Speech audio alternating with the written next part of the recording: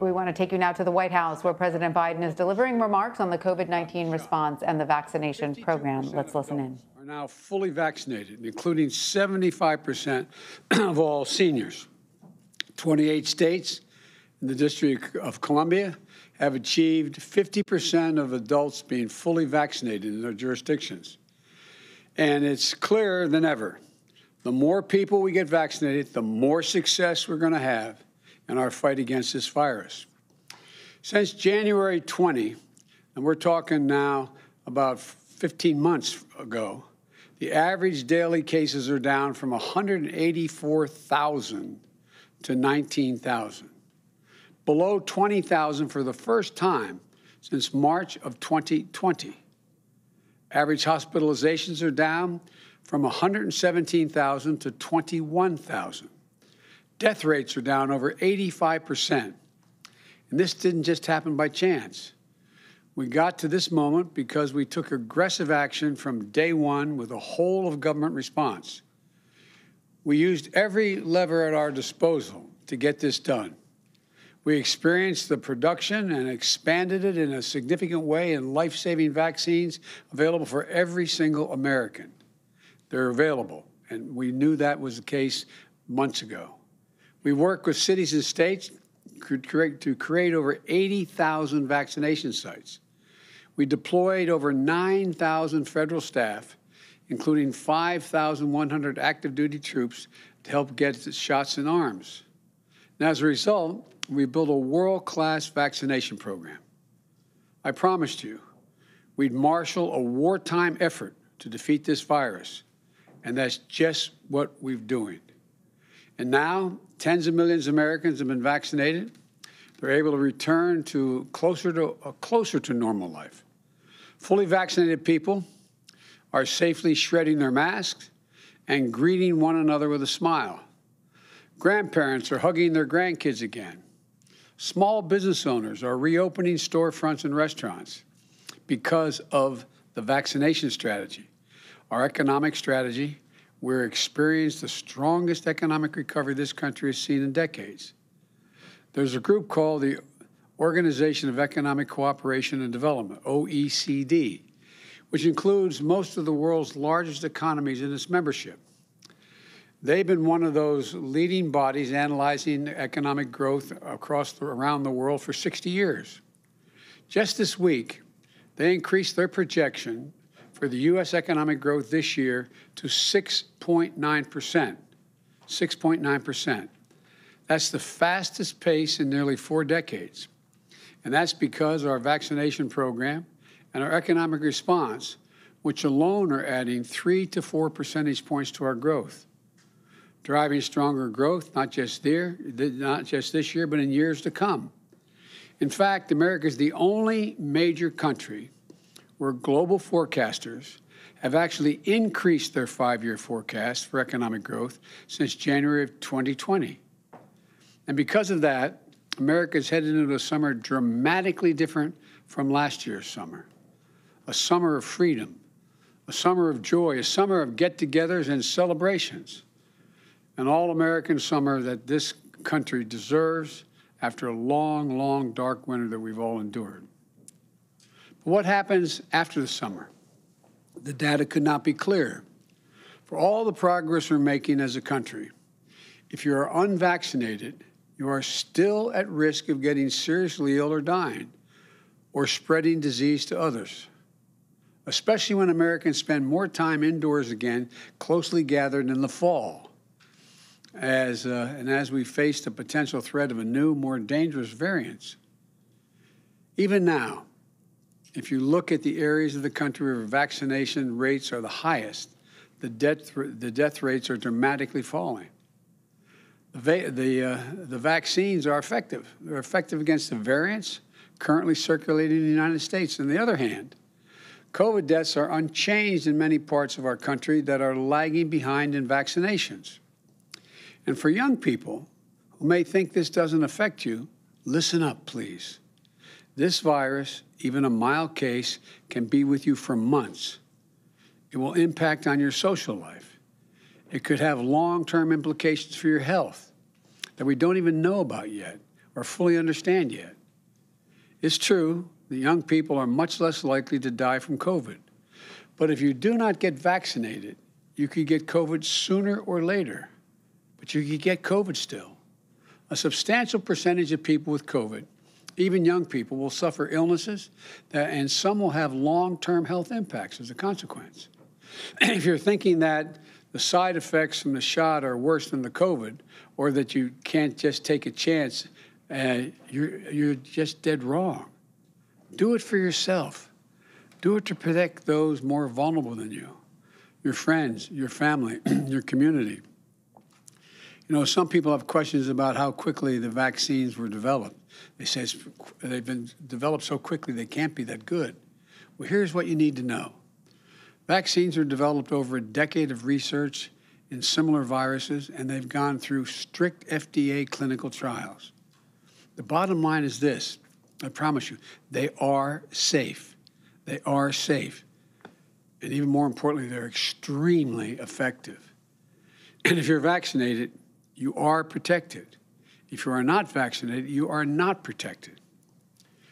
Places with high vaccination rates will also see fewer cases of COVID moving forward. Places with lower vaccination rates are going to see more. You know, we were elected to be president and vice president for all Americans. And I don't want to see the country that is already too divided become divided in a new way between places where people live free from fear of COVID and places where, when the fall arrives, death and severe illnesses return. The vaccine is free, it's safe, and it's effective. Getting the vaccine is not a partisan act. The science was done under Democratic and Republican administrations. Matter of fact, the first vaccines were authorized under a Republican president and widely developed by a Democratic president, deployed by a Democratic president. All over the world, people are desperate to get a shot that every American can get at their neighborhood drugstore at no cost with no wait. Every American over 12 years of age, no matter where you live, what you believe, who you voted for, has the right to get vaccinated. It's your choice. So please, exercise your freedom. Live without fear. We need to be one America united, free from fear this fall. Now, how we keep beating this virus as we enter as we enter the fall after summer. On May 4, I asked uh, Americans to come together to get 70% of adults with one shot by July 4th. 70% at least with one shot. To date, 12 states have already reached this important milestone. We, ex we expect more to make this milestone this week. Nationally, we're at 63% of adults with one shot, and we're getting closer. We still have work to do.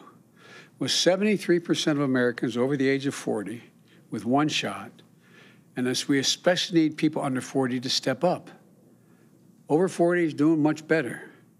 That's why today we're announcing a month long effort to pull all the stops all the stops to free ourselves from this virus and get to 70% of adult Americans vaccinated.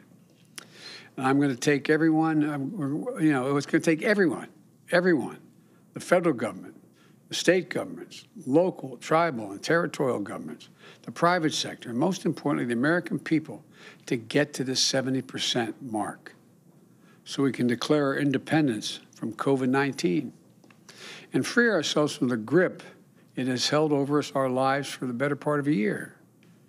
Each of you has the power to help us gain this freedom as a nation.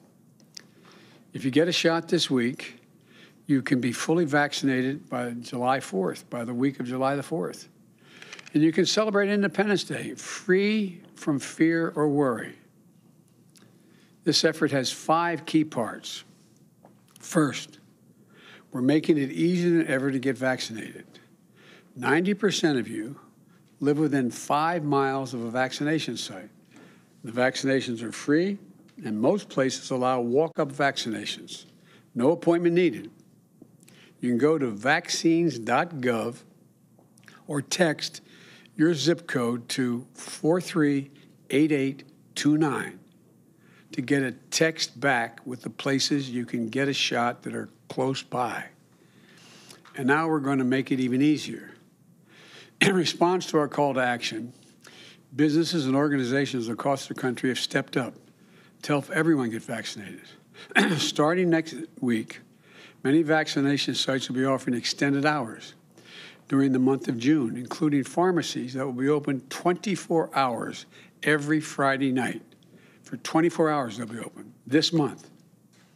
And if you're too busy at work or school, you can get vaccinated around the clock on any Friday. Any Friday.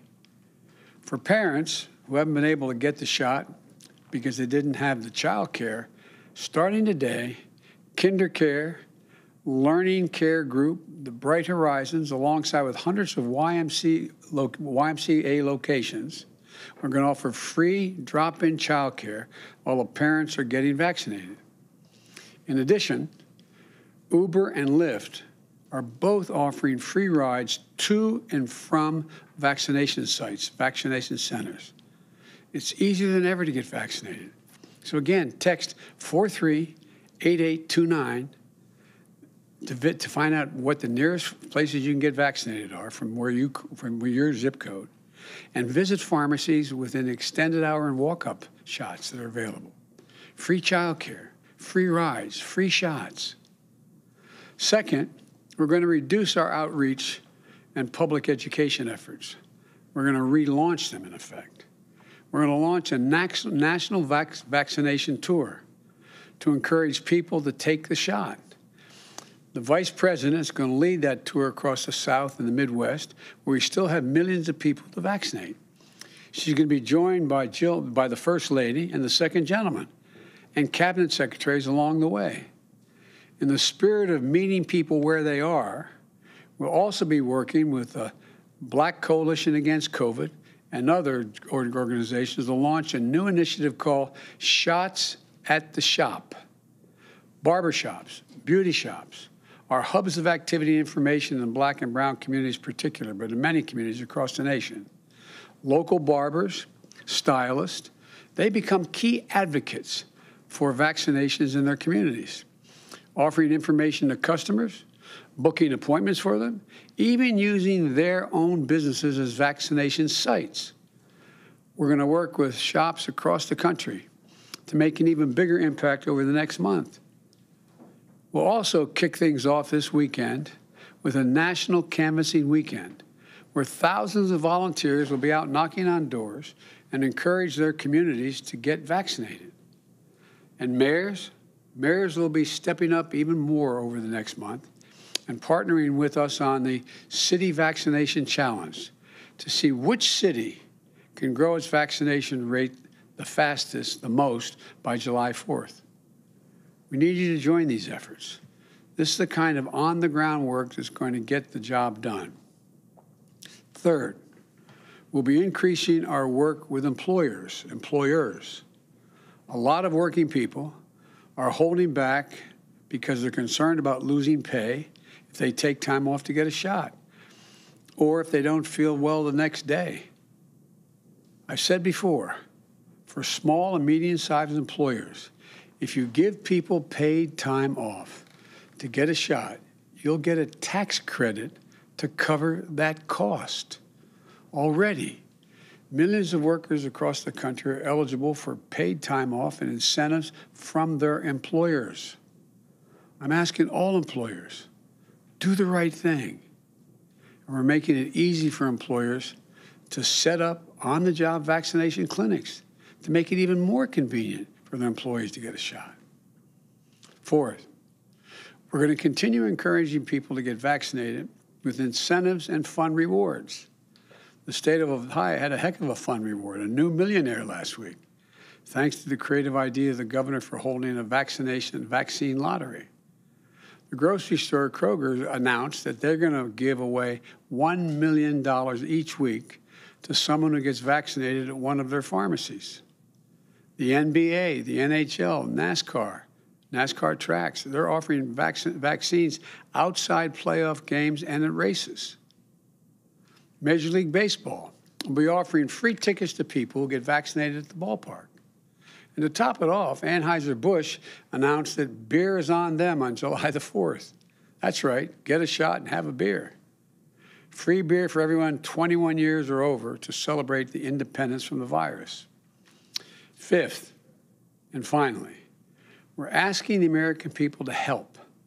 We need you. We need you to get your friends, family, neighbors, and coworkers vaccinated. Help them find an appointment. Drive them to the site. Talk to them about why you made the choice for yourself. So many Americans have already stepped up to help get their communities vaccinated. And over the next month, we're going to need you more than ever. We need every American to commit to the five actions I've mentioned this month. Go to wecandothis.hhs.gov. wecandothis.hhs.gov to sign up to volunteer and learn more about how you can help. Take at least five actions to help in June.